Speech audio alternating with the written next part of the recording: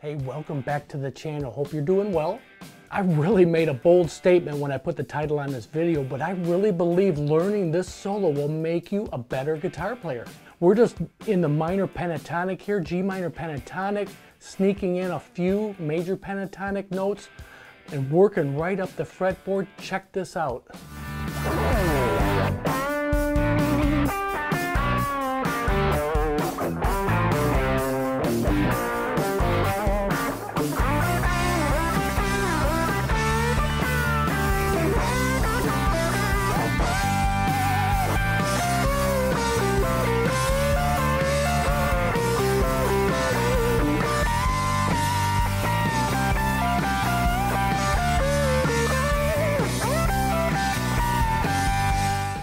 First started playing, I thought I would never be able to play a solo like that. But the notes are actually very simple, simple structure, but played with authority. Let me bring you in and, and show you this at half speed.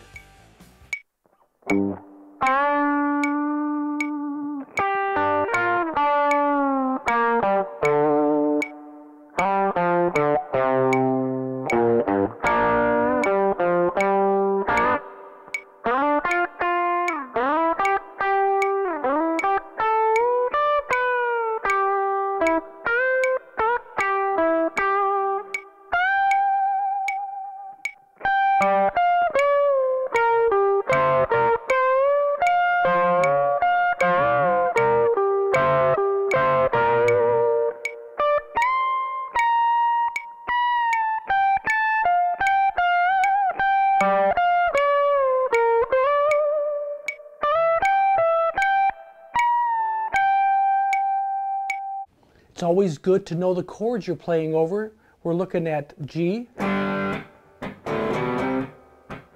D, C. So just G power chord to C, C2 because of this D note you're adding, and then D with no third. Don't need the third, just those three notes.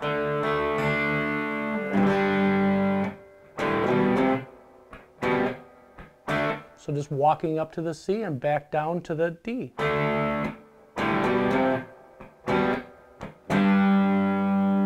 So G minor pentatonic works so well over this, this solo and these chords.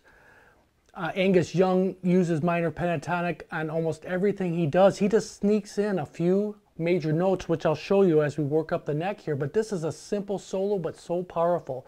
G minor pentatonic.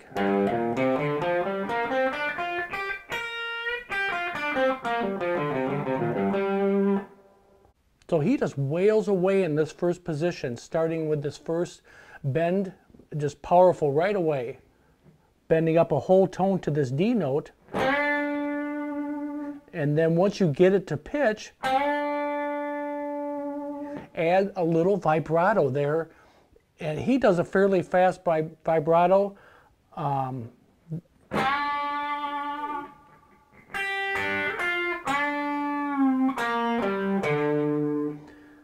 right down the pentatonic scale. So raking these first two strings here, third fret of the E string, third fret of the B string, I, do upstrokes on those.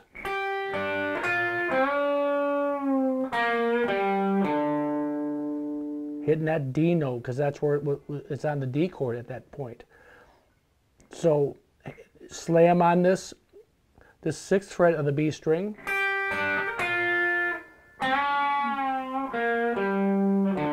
So you're you're bending just you already are bending up to pitch basically and, and letting it down right here.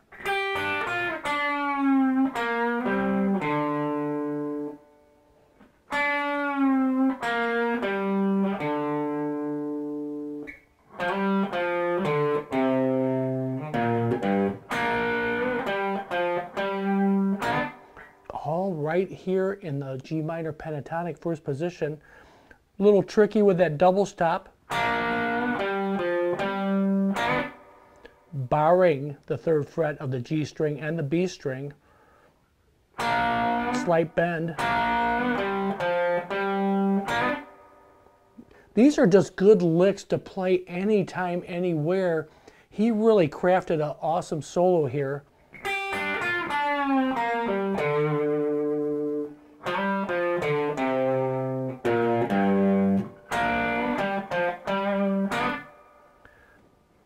In the first position. Now he's walking up a little bit, eh, starting to add a little piece of major in here.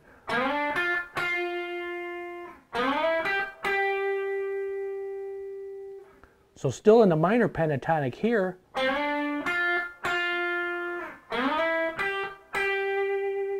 I like to look at this as major pentatonic. But again, I, I don't think he's even thinking, he, he's looking at this root note. And then he hits it again.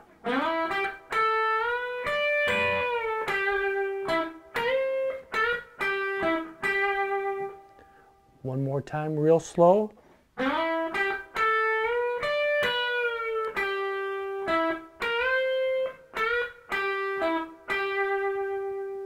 That is a, just an awesome lick. It's so simple, but when you play it with authority, man, this thing really sticks out. All right, one more time with that little phrase.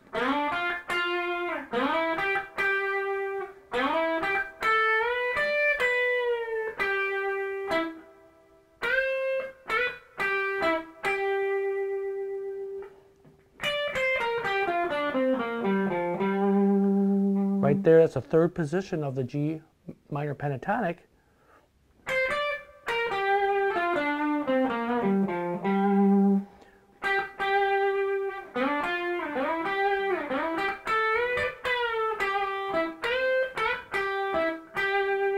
And that is just uh, mixing major and minor at its best right there. Then back to the first position, just an octave up. So bending the pitch here bending to the G note here. Back to the first position.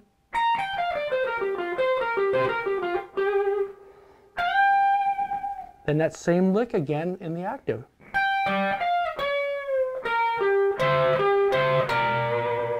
He just varies it a little bit there. I like to use my first two fingers for this because there's a lot of, you know, especially on a, a SG, there's not a lot of room there.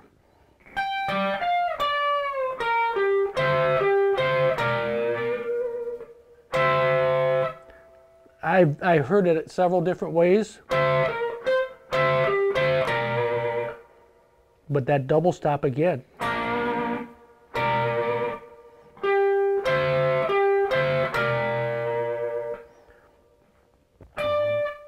Then, uh, then still in the minor pentatonic.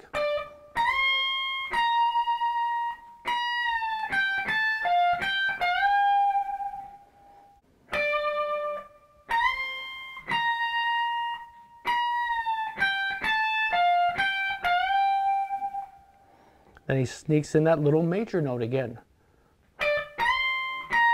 Half bend.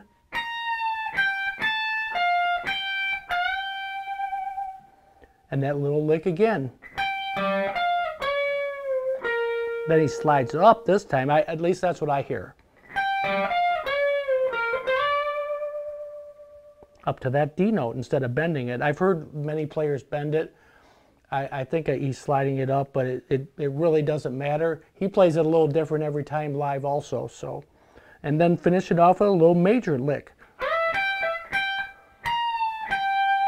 Half bend. I said before, this solo has it all. Take some time and learn this solo because if you can learn this, you are mixing the major and minor pentatonic. Uh, for one thing, you are working your way up the neck and there's so many variations of those licks. Once you get those down that you'll you'll just start playing all over the neck. I really do believe that because that's how it happened for me. And I, I just i love this solo. And let me know if you did get something from this lesson because i really want to do a series of these these uh, break down some of these classic solos because there's so much in them that we can learn from them Thanks so much for hanging out with me today. Hopefully we'll see you on the next one.